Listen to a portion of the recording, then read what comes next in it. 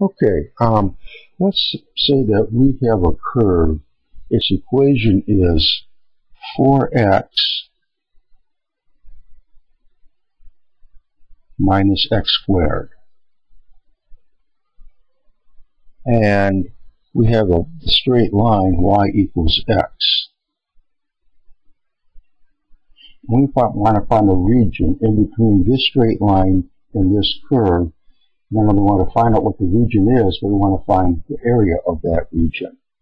So let's see, how are we going to sketch this part? Um, here we have y equals x times 4 minus x. So this is going to cross the x-axis when x equals 0 and when x equals 4.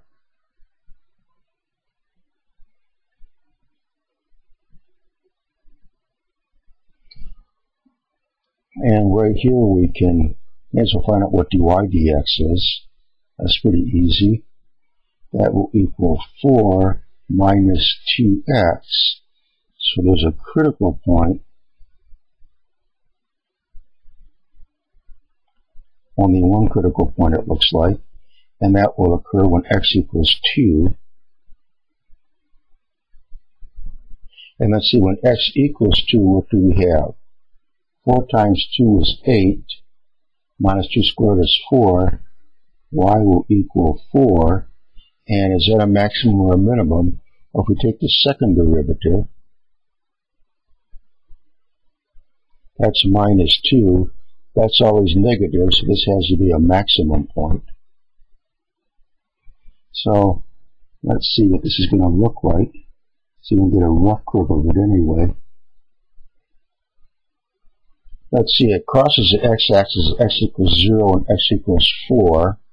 And looks like this maximum height is when y equals 4. So it'll be something like 1, 2, 3, 4, 1, 2, 3, 4. Of course, this is the x-axis. This is the y-axis. And it has a maximum point when x equals 2. 1, 2, and y is 4. So it's going to look something like this. So there, we managed to sketch that out without too much problem. And now for the line y equals x, what will be the point of intersection between this curve and this straight line? Well, when they intersect, they're going to have the same y values. So at the point of intersection,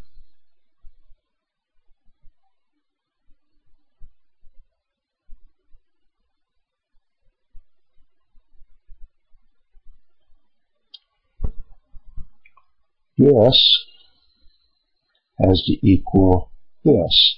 So we have 4x minus x squared equals x. So let's see, it looks like we can bring the x around to the other side of the equation. That'll be 3x minus x squared equals 0.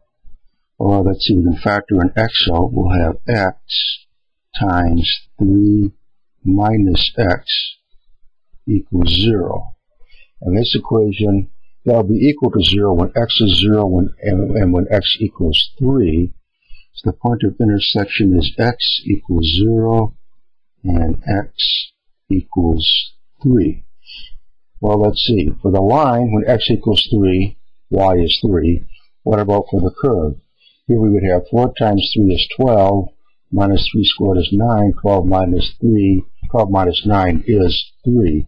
So let's see, we go over 1, 2, 3, and then go up 3. So it's going to be something, oops, like this. And right down here, x equals 3. So here then, that's our area, well that's our region of interest, and that's what we have to find the area of. So, let's make some room.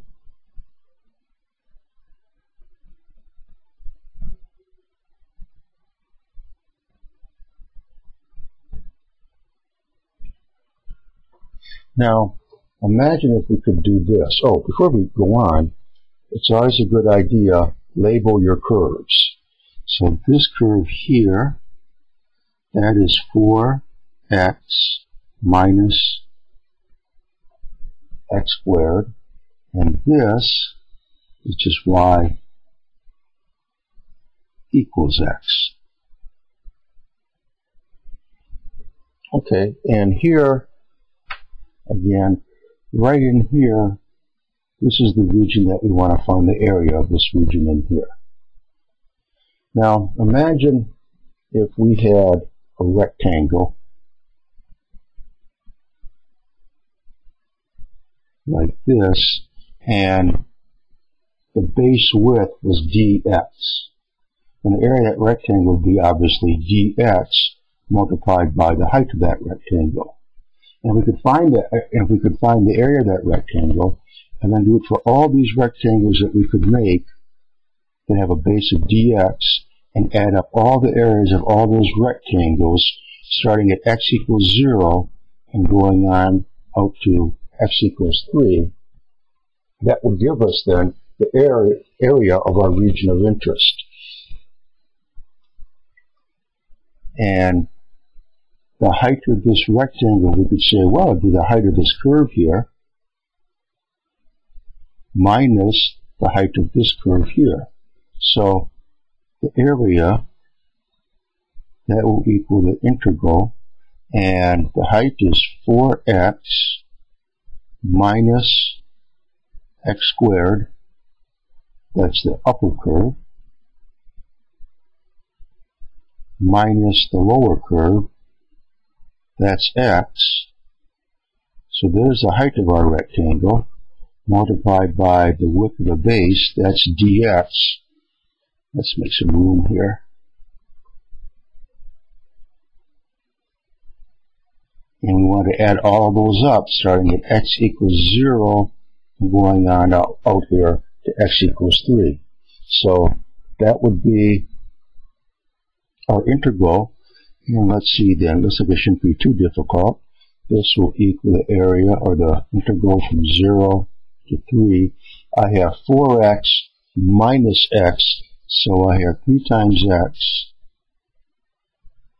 minus x squared dx. And this will be equal to for x squared, for, for x, that would be 1 half x squared times 3. When we integrate, we add 1, so that's x squared, and we have to remember to divide by x squared. We got that covered. And minus, this would be x cubed, and divided by 3. And x goes from 0 to 3. So let's see, this will equal